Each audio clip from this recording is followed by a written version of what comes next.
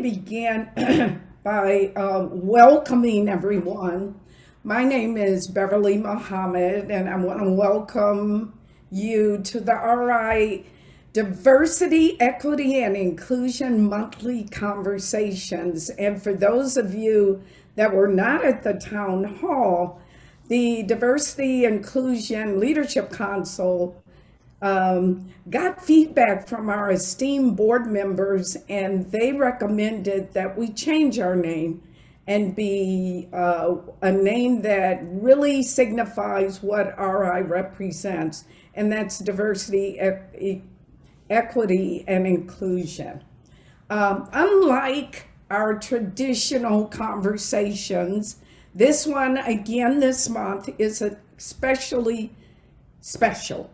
Um, we have with us today our RI employees. That includes our RI executive team leaders. I see some of you here online, um, our peer leaders, and we also have our board members. So I'm so excited um, to be here and to be part of our monthly conversations.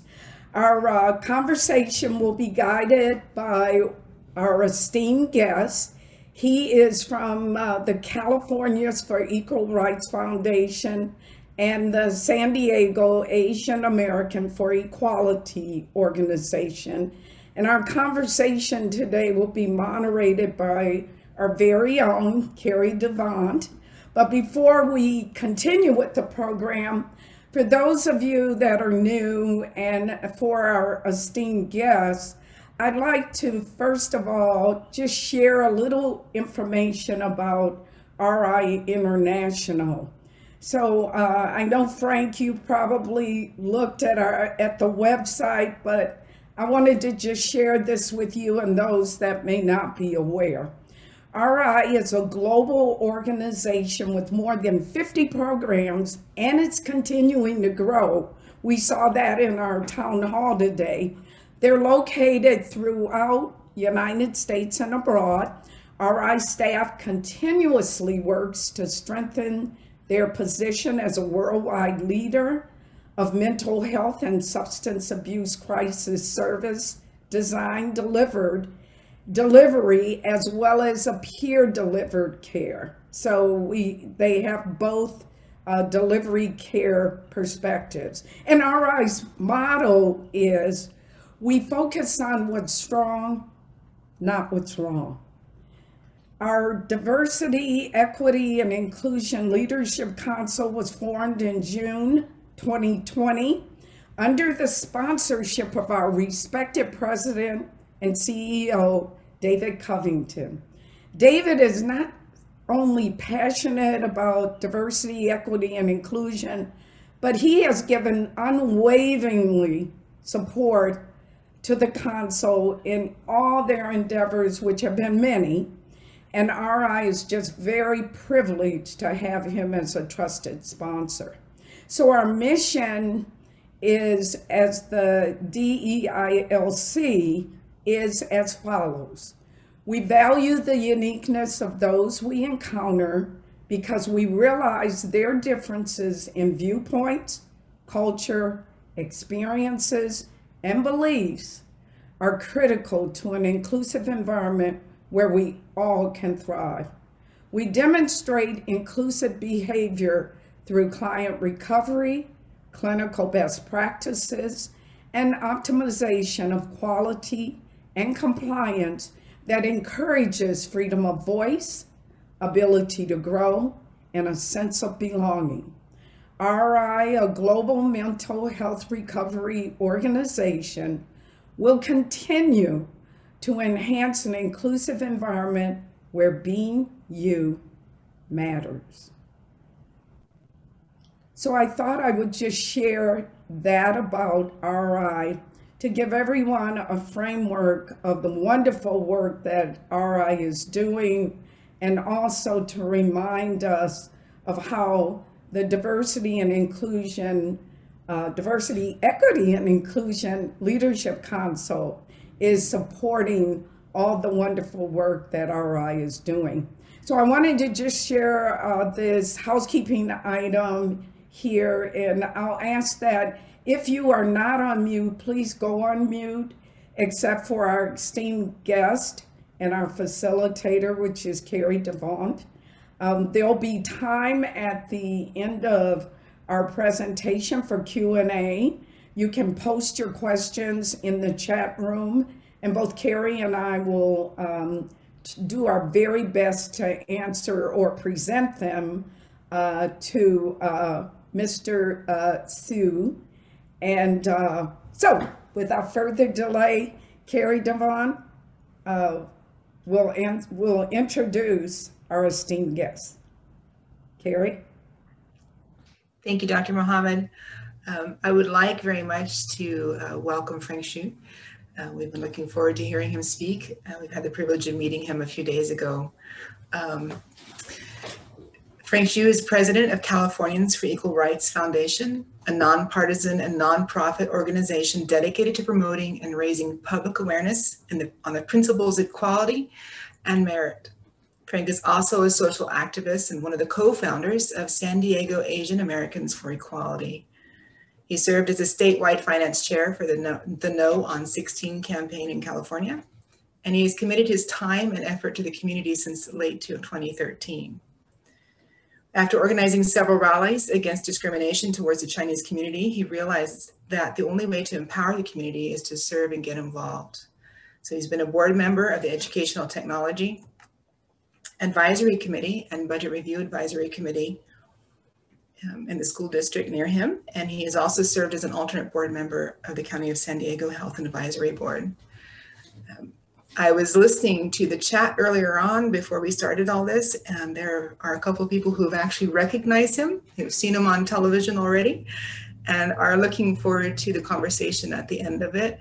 So with that in mind, it is my privilege to introduce Frank Xu. And Frank, please take it away. And, and we're looking forward to hearing what you have to say. Thank you. Thank you, uh, Dr. Muhammad and Carrie, for uh, having me here. And it's my uh, privilege, privilege to be able to speak here. Uh, and good morning, everyone. Thank you all for joining today's meeting. And you have already dem demonstrated your love and care to uh, this community. Appreciate. Uh, yeah, again, my name is uh, uh, is Frank Xu. Uh, uh, Carrie has already introduced me a lot, so I just uh, uh, let's just go to the yeah this slide a little bit. So to introduce the accomplishments we have done uh, for our organization, San Diego Asian Americans for Equality, we are one of the six plaintiffs to sue San Diego Unified School District because the uh, school district gave Muslim students preferential treatments. So after two years of lit litigation, the school district rescinded its unconstitutional anti-Islamophobia policy and offered a new policy protecting all students. And serving as a program manager, I set up a partnership between uh, San Diego Asian Americans for Equality and Solutions for Change to offer financial and academic help to the homeless families and kids. And it has been three years now. Uh, when we help those homeless families in need, we don't decide uh, if they need help by their race or skin color. And with Californians for Equal Rights Foundation, we recently filed an administrative complaint against San Diego Unified School District again because their critical race theory training to the teachers are racist and not constitutional again. So that's a brief introduction about me and let's move on to uh, today's topic. So the recent crimes against Asian American community. And I believe most of you have known uh, these incidents. Uh, so in uh, in New York, yeah, in New York, uh, a Filipino American was slashed in his face when he rode uh, the subway. And in San Francisco and Oakland, multiple Asian seniors were pushed to death with no confrontation at all. And the suspects intentionally wanted to hurt or kill the victims. And in Atlanta mass shooting, eight innocent people were killed, including six Asian Americans and two Caucasian Americans. And that, that's how protests and rallies with the uh, Stop Asian Hate movements were started. And some conclude those incidents uh, can attribute to racism. And, and that's partly true. And many of these incidents clearly has had the intention of hurting Asian Americans specifically. And indeed, uh, the racism against Asian Americans is not new, not new at all. So if we look back at the history, uh, more than 100 years ago in 1882, the Chinese Exclusion Act has already de uh, clearly demonstrated what systematic racism looks like. And please be noted that I use the term systematic racism instead of systemic racism, because I consider systematic racism the racial discrimination enforced by the law, by the government agencies. And system systemic racism is a different definition. And this Chinese Exclusion Act clearly demonstrated how bad it could be by solving social economic problems through the lens of race. And then it's followed by Asian Exclusion Act in uh, 1924. And then in uh, World War II, many Japanese Americans were put into internment and which is another bad example of systematic racism enforced by the law and the public agencies. No matter how noble the reason could seem to be by then, because the uh, conflict between two countries, the war between two countries, and it proved to be unethical to treat people differently just because of their race and skin color. But America is a great country who can correct, correct its own wrongdoings. And the 1960s, 1960s civil rights movements uh, ended the history of systematic racism, or at least started the effort to end the history of systematic racism. While the movement was led by uh, mostly by Black activists like Martin Luther King Jr. and Rosa Parks, uh, some Asian American activists also joined the efforts, joined the fights. And the, uh, the limitation of Asian Americans uh, immigration were also uh, lifted uh, during that period. And the 1964 Civil Rights Act and the 14th Amendment started to pr protect all Americans from being discriminated because of our race uh, or skin color. But individual racism is not going any, you know, is not going anywhere. Uh, uh, in 1982, uh, Vincent Chin was beaten to death on the Detroit streets because the murderers believed that he was a Japanese to blame for their uh, job losses, uh, their hard economics uh, status. And those two murders ended up with no jail time. And with all the incidents we saw recently, we all know that the racism uh, by individuals will be ongoing for a long time and maybe uh, forever. And we have to admit, that, admit this fact when we discuss further on this tough topic. Um, and I believe one of the cause for these racist incidents are misunderstanding. And I would like to introduce a little bit about how the impression or profiling about Asian Americans are formed. And of course, it's only from my point of view. Uh, and first, let's look at the uh, history of Asian American population in America. As you can see, it's always in a rapid growth, except those years of uh, after Chinese Exclusion Act and uh, World War II. So most of the growth are from immigrants. So you can tell probably uh, every four of five Asian Americans you encounter in your daily life probably were not born and raised in America. So we speak different language, uh, probably share a different culture. And so that's why many Americans occasionally think Asian Americans are aliens and frequently ask a question, where are you from? And I believe that, you know, with a good intention. And to me, as a first generation immigrant, it makes perfect sense and does not offend me at all. I, I'll just simply reply, I'm original from China, right? But for next generations, like my son or daughter, they may feel offended and feel their identity as Americans challenging. And even, and sometimes even feel like, oh, this is a racist question. So that's uh, different reactions from, uh, you know, from different backgrounds. So I just want to share with that. And another myth is uh, model minority for Asian Americans. I can explain this impression from multiple pr perspectives. So first of all, the, uh, the previous chart tells us that there are always many uh, first generation immigrants just coming into uh, United States recently. And many of recent immigrants have higher education experience and working experience.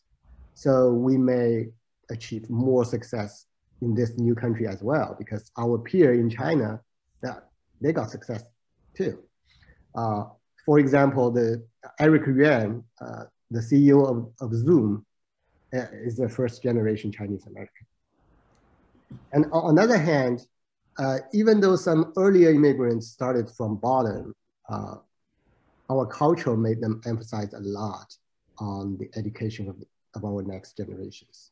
So, so you can see from the picture that uh, many Chinese uh, restaurants, the kids are helping their parents during the rush hours and, and doing their homework when the business not, is not that busy.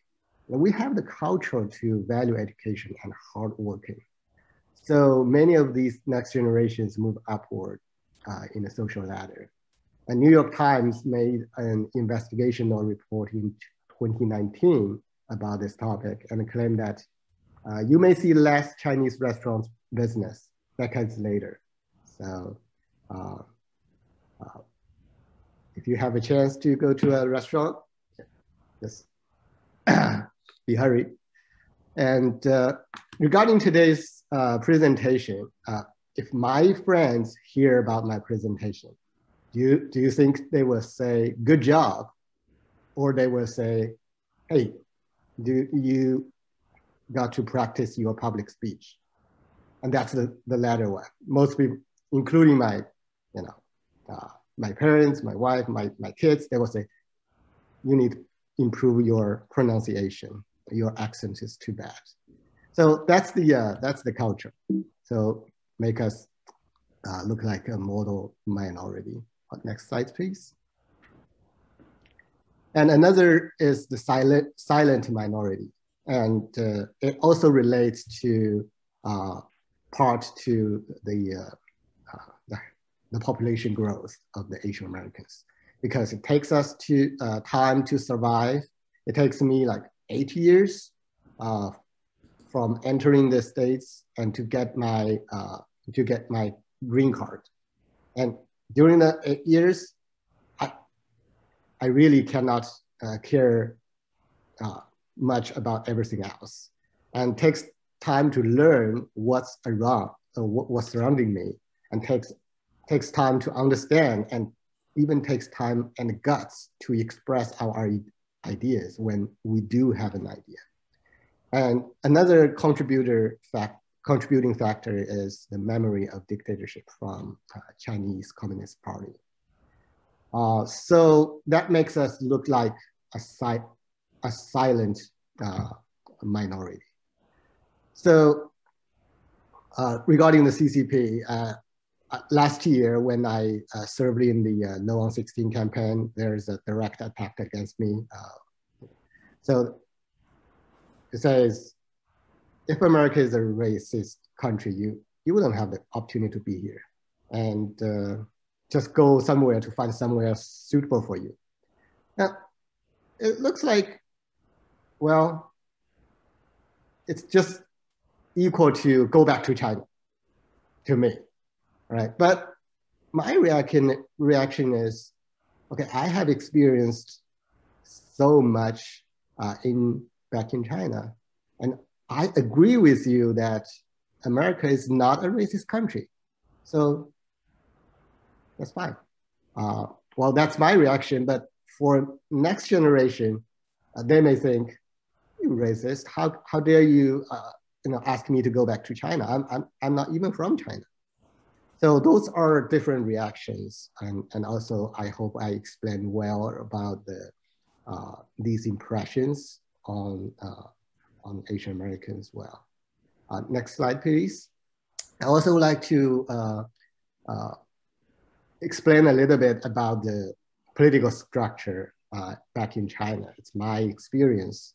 So it's basically a dictatorship or authoritarian, authoritarian uh, structure. So one party controls everything. And so think about the leader of the CCP, even in the city, it, it controls the HR, controls the media, controls the mayor, uh, judge, police, DA, and school, everything.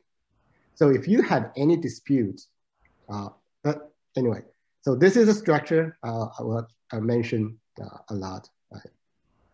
next slide, please. So with that structure, there is no due process at all.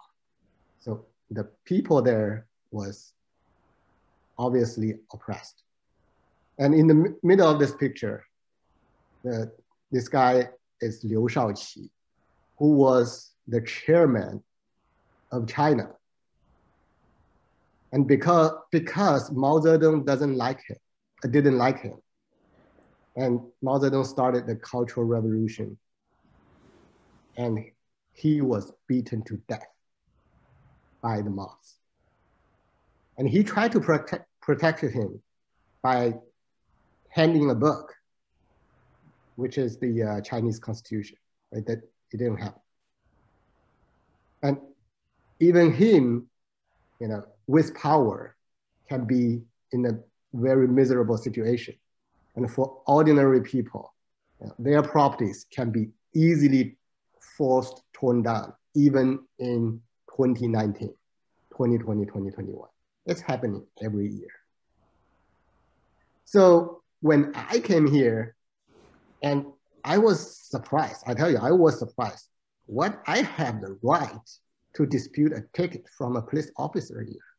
Because back in China, you don't. The only option is to pay the bill or bargain the amount. Can I pay 100 instead of 200? That's the only option. Next slide, please. And uh, there is no equal treatment at all. So think about uh, a son of a major or a CCP leader compete with a son of an ordinary person. It's completely different. They, uh, the, the closer a, a, person is close to the CCP uh, structure, they can gain power, they have every resources they want, and they can oppress the others using the tools. Police, police officers, you know, uh, judges, DAs. So when I came into here, it's amazing that I know that California's constitution says the state shall not discriminate against or grant preferential treatment to any individual or group on the basis of race, sex, color, ethnicity, or national origin, even national origin in the operation of public employment, public education, or public contracting. And so that's how uh, my, uh, my opinions were shaped from the different, uh, different experiences. Uh, next slide, please. Uh, and the media were completely controlled by one party back in China. And I experienced uh, how they lied when I was seven years old. Because when I was seven years old, I went to college. No, no, no, I'm sorry. I went to the middle school. So, uh, so I was reported by the local media. And when I look at the reports, I said, it was not me. I, I could not play any instruments, but they said, okay, this, this boy is amazing. He could play this, he could play that. So, and, and it's more than that. For propaganda, it's more than that. So you cannot speak anything uh, bad about Xi Jinping or any, anything else. And, and it worried me, next slide, please, when the American media, media starting to behave like a propaganda. So I have one uh, reference here. So this is the, the recent, uh, recent uh, report they did uh, about San Diego. They said, uh, they said, uh, San Diego pays women workers of color significantly less than white men, study shows. And I was shocked by, by this title. What? We San Diego's, we San Diegans are that bad? But if you look into this, uh, this article, it actually says that the, uh, uh, the study blames factors other than discrimination for gaps. So, uh, and the title makes me really uh, uncomfortable and, and believe San Diego Union Tribune right now is a propaganda machine. And look at their, their columns, they don't represent uh, diversity of ideas. Uh, that worries me a lot. So next, next slide, please. So because of the experiences uh, I had in China uh, and in the United States, I, I asked my questions, myself questions. So why were there so many wars and genocides between different racist countries in Chinese history? For 2,000 years, whenever there was a, there were a war, the losers will lose their properties, their life, and even their parents, grandparents' life, their, their kids. But, but here, the losers of civil war could still live with dignity. And I, I, I, I heard some explanation that it's because America is a racist country. So they still uh, take care of these uh, racists. But I may have a different uh, opinion. I, it's because of the love, because of the forgiveness. And so we have the ability to reconcile with people with different opinions and sometimes even uh, had wars. And another question for myself is, within the Nobel winners, why are there some Chinese Americans? I'm not, I'm not saying it's a lot, but at least a handful of Chinese Americans, but only one Chinese. So they are of the same race, but it's just the system, the culture is different. And another question to myself is, the Chinese Communist Party knows the Chinese history well and how they failed to deal with uh, the racial uh, relationship in the country. And they know the importance of propaganda.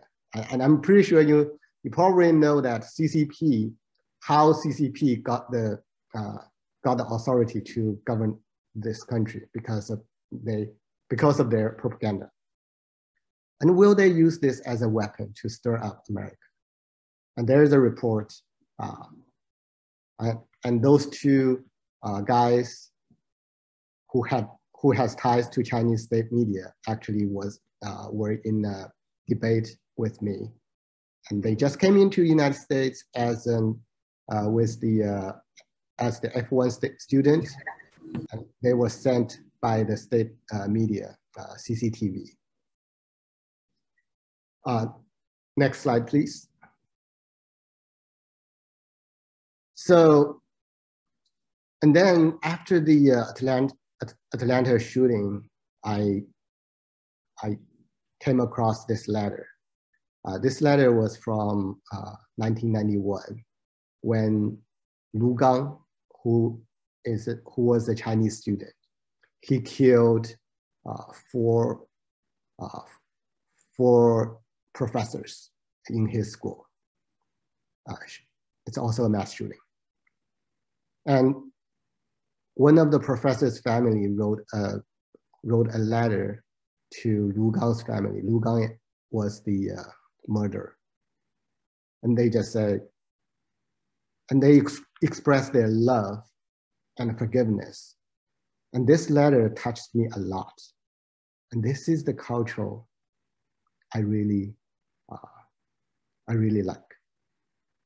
And, and they expressed people are created equally regardless of race or ethnicity. I cannot see any racism uh, from this letter. And the only thing that can explain the differences of their attitude is the different system or different culture makes the differences. So that's my uh, reflection uh, of this letter. Uh, next slide, please. And I want to share you a little bit about the scary cultural revolution. So it, it lasted 10 years. And before that, there are another uh, movement and another movement. And that was pushed by one party, uh, Chinese Communist Party. And the violence was encouraged by the ideology. People get guns and they shoot each other. And monuments, statues were torn down. And the Chinese history was distorted to reflect their ideology. And after 10 years, the traditional culture, both traditional culture and economy was damaged badly. And if you still remember uh, the time of 1976, China is nowhere, right? And after that, after they abandoned this kind of uh, ideology, they started to uh, to develop really quick with the help from uh, from America, and now they are number two uh, eco economic system in in the world. And next, next slide, please. And so uh, after I talk about the history, talk about the uh, my experience from China, uh, I want to come back to the uh, recent attacks. Uh, from my point of view, the attacks are from both sides. Well, including the Chinese flu by uh, Mr. Trump in 2019, and uh, by YG's album, Meet the Flockers. Basically, he this is a rap song. It, he sings about how to identify a Chinese family and how to uh, break into it and, and, and, and rob everything from uh, the family. And uh, the, uh, uh, from the uh, San Francisco Unified School District Board member, Allison Collins, and he even calls us a house N-word because, because we value education and has uh, dispute uh, with her regarding the uh, the the the past to be admitted into the high school. And we always ex experience discrimination by universities on student on student admissions. Uh, it's a the admission season will be uh, will be completed very soon, I believe, uh, May first.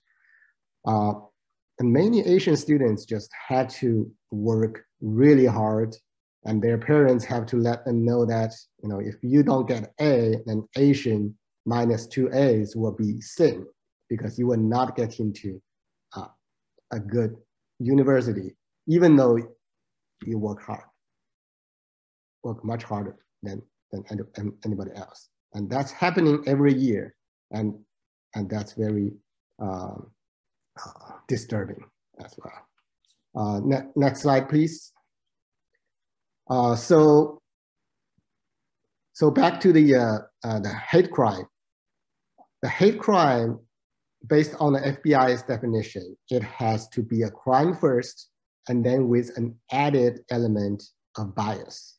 So it's very subjective, not objective. And so that makes the uh, hate crime very hard to be classified And so one uh, small tip is even Orlando Pulse not nightclub shooting is not classified as a hate crime.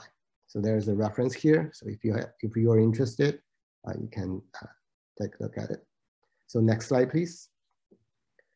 So uh, comparing the hate crimes uh, trends, uh, because of the subjective, it's better to, com uh, to compare within the same agencies. Uh, so I don't take the, the website Stop Asian, Stop API Hate seriously because it started March 2020 and has no comparison. Anybody can report uh, I don't think that data is uh, uh, is trustworthy or is comparable with others. So for San Diego, uh, this data is from the uh, county dist district attorney's office. Uh, so we can clearly see there is an upward stick, but not a hard. so yeah, you can you can tell from the uh, from the numbers. Uh, for 2021, right now we have one of two hate crimes uh, crimes against Asian Americans. Next slide, please. And for New York, uh, which has reported a lot of uh, Asian uh, anti-Asian hate crimes recently, but indeed you can you can tell from the data that with the same agency, Jewish and Black communities and also uh, male homosexual gay uh, are of the uh, most ser serious attacks uh, uh, or victims that were of the hate crimes in New York. I'm not saying that anti-Asian hate crime is not serious, but I'm, I'm, I'm just saying that probably not as serious as the media want to uh, let you know. Next slide, please. Uh, yeah, uh, and this, this is not new uh, for the uh, uh, robbery in 2018. Uh, next slide, please. And in the FBI crimes analysis, so the point here I, I would like to make is uh, the crime rates are the uh, of our uh, interest, at least of my interest at this moment, because uh, as long as the crime rates are uh, going higher, the Asians are always uh, the victims in the probably the most. If you look at the this status statistics. Uh, for the victims, if the victims are white or black, most of the offenders are within the same race. Uh, Hispanic, about the same. And for Asians, when Asians are the victim, victims, many, many offenders come from, uh, uh, from other races. Uh, one of the uh, uh, one of my friends uh, who is a, stat, a stat, statistician, he explains that it's probably not because of racism.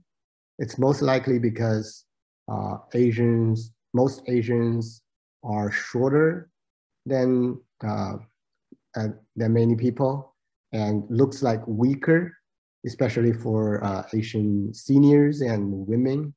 So that makes they, they, them an easy target uh, for criminals. So that's one of the explanations. Uh, so next slide, please. So my response to this movement, so I, I would like to have due process for, for all, even for uh, the uh, offenders. And once the offenders are, prosec are prosecuted or uh, convicted, we should go tough on these criminals. And, and we, we, should, we should be lo loving and forgive to all others, right? Even the criminals' families, they are not, they are not to, to be blamed. And we, we got to love them.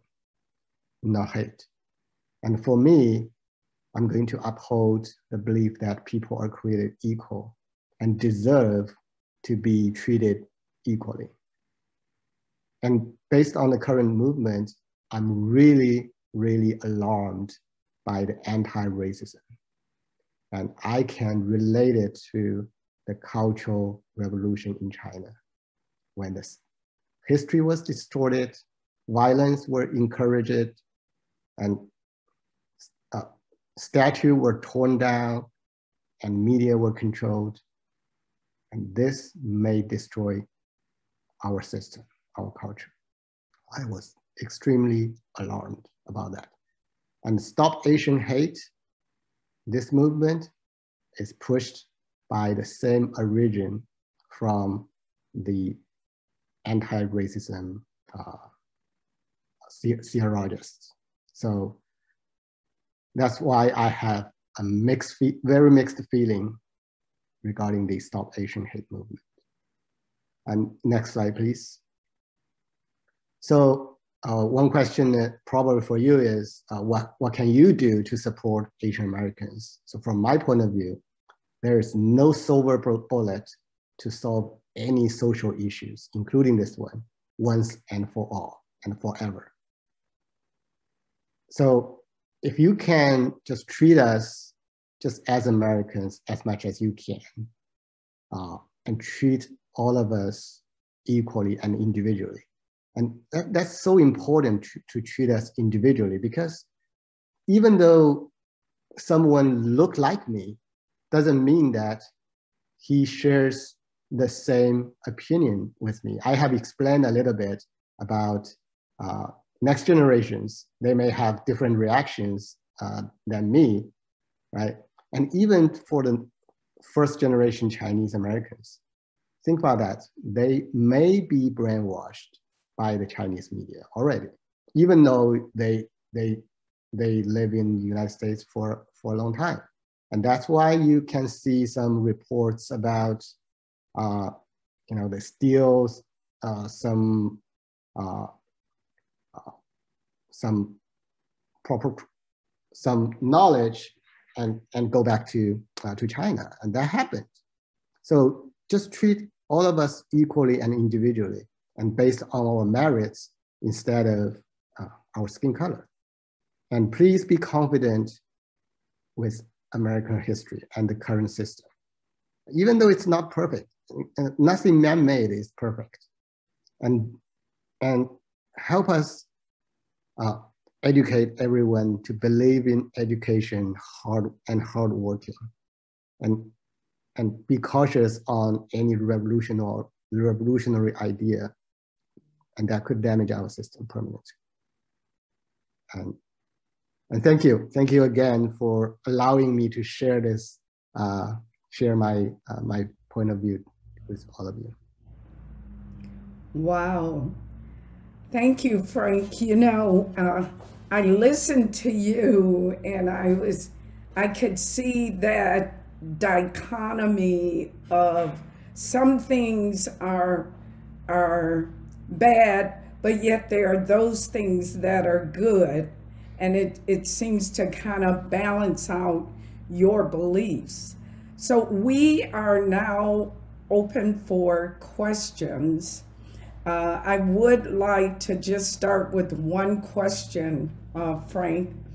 Um, you mentioned having come to this country um, as an immigrant and having to wait your time with your uh, green card. What was your easiest transition coming from from from your country to America? Well, obviously the easiest transition is on my profession because I'm a software engineer. And when I came from uh, China, so these are the same language, you know, C, uh, C or Java. And, yeah. and so that's the easiest transition. But I had a problem, uh, you know, uh, partying with my uh, with my colleagues because whenever they talk about uh, talk about uh, baseball, basketball, I had what I, I don't know these names. And it took me some time to, to remember the names, the rules, you know, especially for baseball. Yeah. You know, I can um, I can relate to C sharp and C and JavaScript and COBOL and assembler language because that was part of my world in IT as well. So thanks for sharing that with me. Um, any questions for Frank? Yes, there have been actually a few of them. Um, likewise, I'd like to thank you, Frank, for this. It was it was fascinating, and I want to take an opportunity to be a little selfish and ask my own question first too. um, one of the things that I noticed at the very beginning is that you talked about you had a very graceful way. You showed a lot of grace, and you said that you don't you think that maybe that racism is more about misunderstanding, which I think is a very grace filled way and gives us an opportunity to kind of maybe focus on educating rather than on hating. Um, how do you see a nation that has been recently pretty torn up with all the stuff that's been going on with the Black Lives Movement, the, the, Asian um, the crimes that we have seen occur? How do you see a larger path towards that kind of love and forgiveness? Um, well, uh, it, it is it is not easy, and uh, for forgiveness, and especially if you consider the cultural, the, the, the background of the 3,000 years of the, uh, you know, of wars and fights in, in Chinese history. And, and that's what amazed me when I saw the letter from the professor's family. I, I believe in, I, I was baptized back in 2008 as an, uh, you know, right now I'm a Christian and I believe the Christian value uh, helps me to understand how we can get the love and the forgiveness from. So that's again, uh, just my humble opinion. Thank you. Appreciate that. Um, one of the questions that we had here is which country, if any, do you believe has had a good inclusion diversity policy or a good role model for others? Well, I, I have expressed very clearly that this country is great. you know, even though I see so many unfairness. Yes, absolutely. But if you experienced, if you saw what I saw in China, it, it, it wasn't, it's much, much better here in the United States. Obviously, and of course we have, we, we still have rooms to, to improve, no doubt. Thank you. Uh, Carrie, I saw Ben's hand go up. Oh, yeah. Hi, Ben. Good to Hi. see you. Yeah, I, I was also wondering, um, Frank, is, you know, uh, a lot of times education for a large segment of the population, you start seeing be reflected in movies and in commercials. So when I was growing up in the 50s, uh, most commercials and movies were just white people. And, you know, in the last few years, I've been seeing a lot more diversion and inclusivity in commercials and, and, uh, and even in movies. Uh, so my question is, what's your perception of this? And do you think this is going to be a, a big help in, in, in, in educating the public that, you know, we're, you know, we're uh, multi-ethnic, you know, uh, that we are, you know, really all, all parts of the world. Yeah, I, I, absolutely. You uh, when I first engaged into local politics, uh, I went to the meetings of Poway Unified School District, and I noticed that uh, for each flyer they had, there is no face of uh, Asian Americans. And then I, I realized that, you know, this, uh, you know, with more faces could create uh, the feeling of inclusion. But in the same, in the meantime, I realize, I also realized that sometimes it takes time. Uh, say, for example, uh, there is no first generation Chinese uh, assembly member in California right now. Is that a discrimination? Or should we have one to inspire us to be a politician? I, I, I would say probably not. Just, just naturally that people grow and uh, you know, eventually uh, someday uh, some qualified person will be there. And that's my, uh, my personal. It takes time. Thank you very much. Thank you, Frank. Um, I do see another hand up. There's another question in the chat too that I don't want to miss, but I do see Dario has his hand up. And you're on mute, Dario. We can't hear you. And Jeff's hand. I do, I do that all the time on Zoom. yeah. So I just wanted, I just wanted to like to thank you for like uh, for like uh, being so inclusive in your in your in your presentation because um I think like a lot of times in the conversation, you know, like like someone said, uh, you know, on the black white spectrum, um, you know, uh, in the shuffle everything gets lost because um i think you mentioned on club pulse you know like um how that wasn't classified as, as a hate crime. And um you know like i, I have a friend who was like uh, beat up and left in the snow to die and um and the guy's got two years you know? Um and and you mentioned you know that that an Asian person like got, got beat up and I think they, they, they didn't get they didn't get any time right?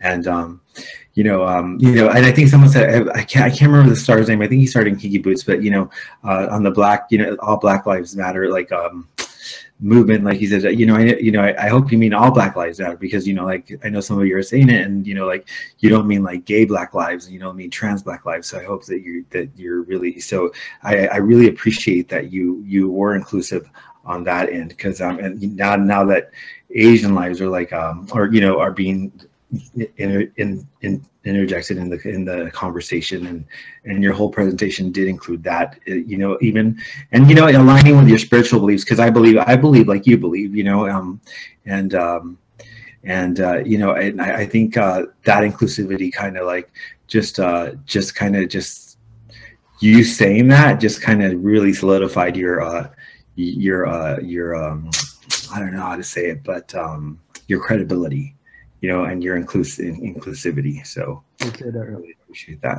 So thanks.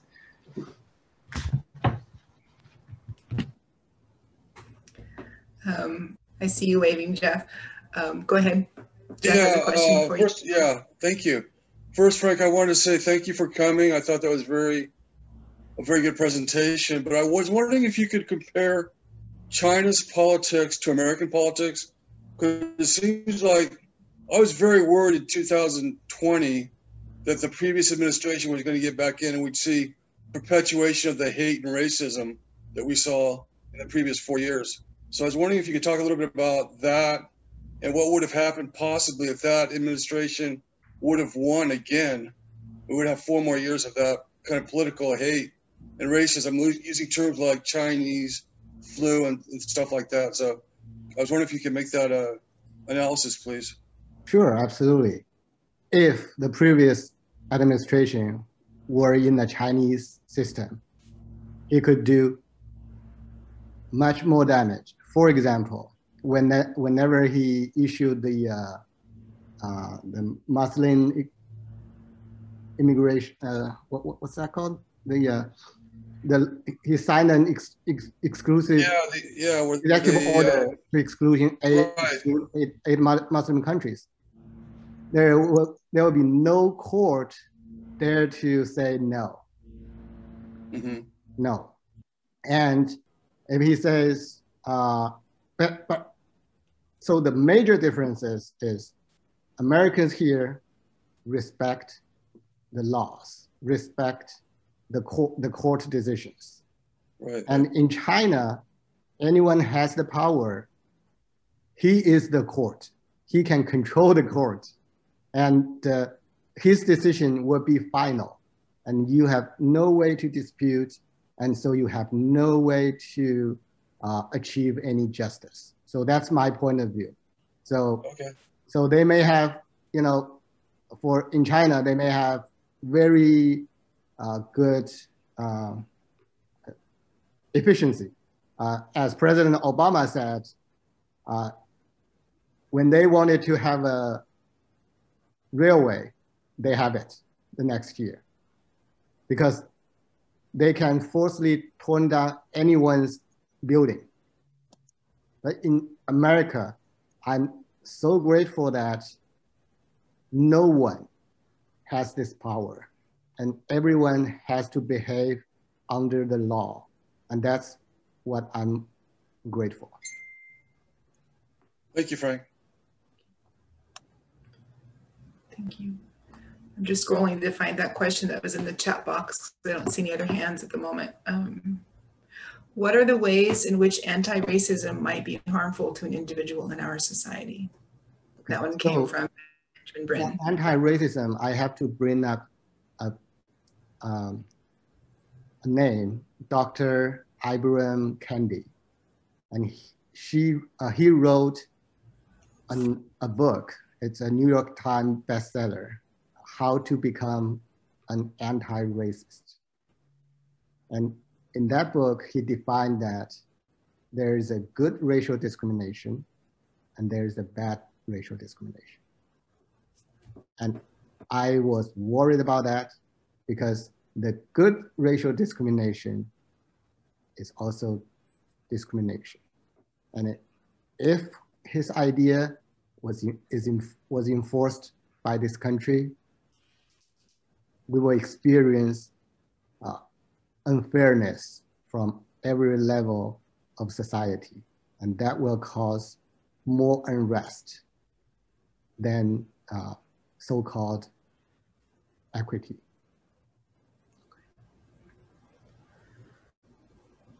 And we have already experienced that uh, as I, uh, in my presentation.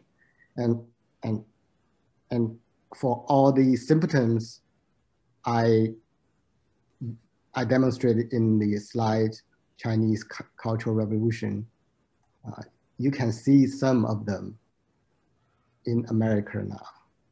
Our histories are distorted now, and our statues, even school names, are renamed. Uh, well, un under the name of fighting racism.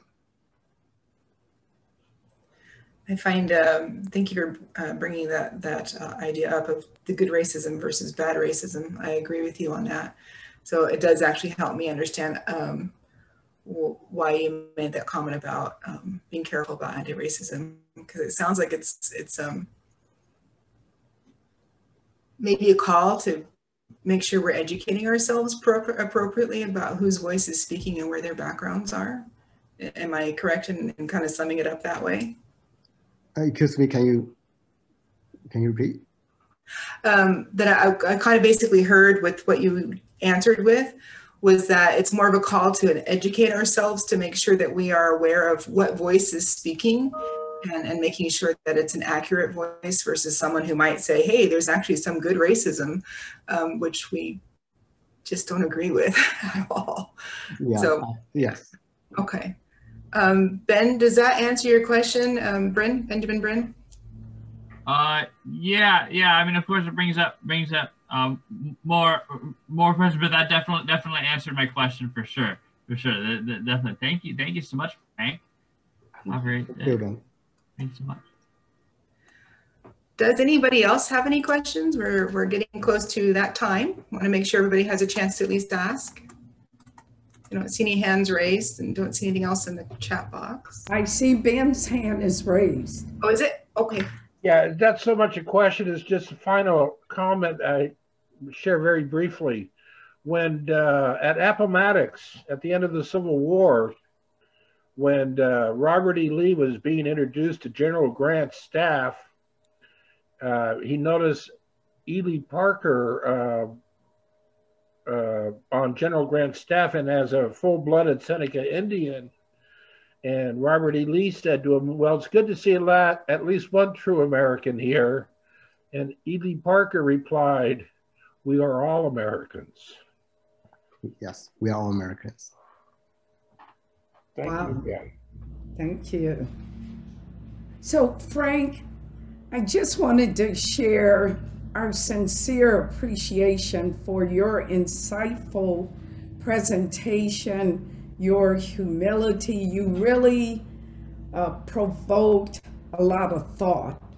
Uh, you caused us to pause and think uh, and reflect on your presentation. I learned a, a great deal about you, about your perspective, and historically information about China. And now I have a frame of reference now.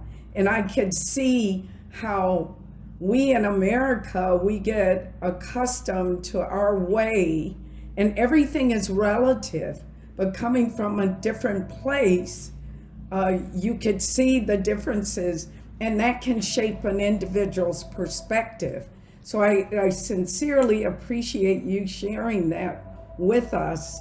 Um, I wanted to just ask you, um, in what ways, I know you're president of the Californians for Equal Rights Foundation, and you're also a co-founder of the San Diego Asian Americans for Equality. Is there anything that we can do in terms of going to your website?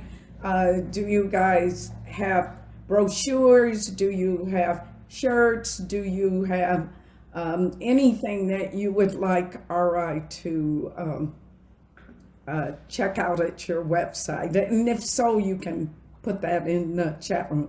Yes, I just put the uh, uh, the Californians for Equal Rights Foundation uh, at, at the website in the chat box. Thank you. Thank you, Dr. Muhammad. Thank you. And Carrie, I see Mercedes' hands is her hand is up. Mercedes, yes. I think you have some yes. time. Go for the question. Just not not a question, just a comment. I'm a foreign person also, like Frank stated. This is a magnificent country where peace, liberty, freedom abounds, regardless of all the things that we have seen.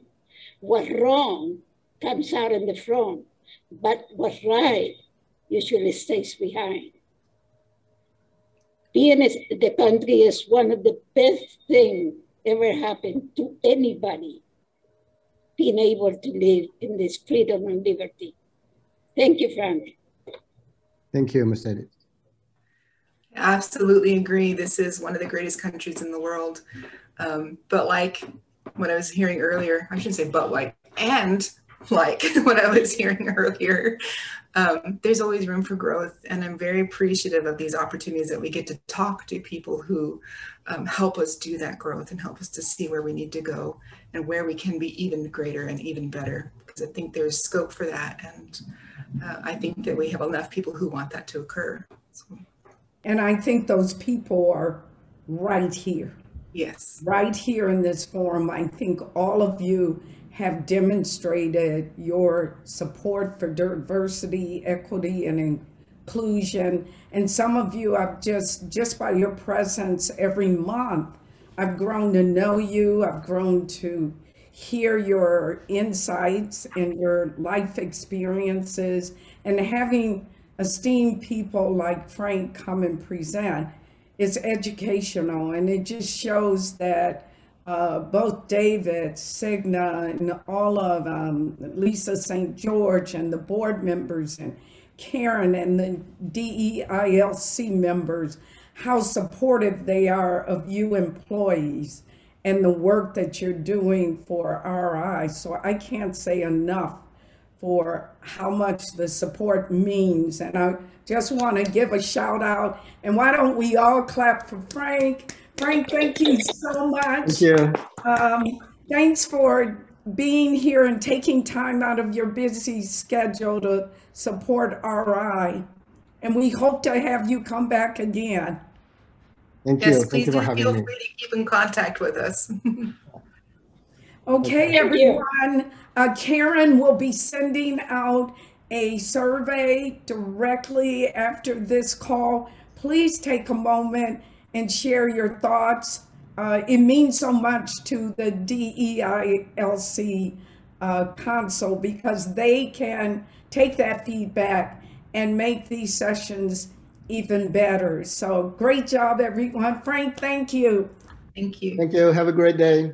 Thank you, everyone. Have a good Thank one. you, Carrie. Thank you, Dr. Muhammad and Carrie. Great job.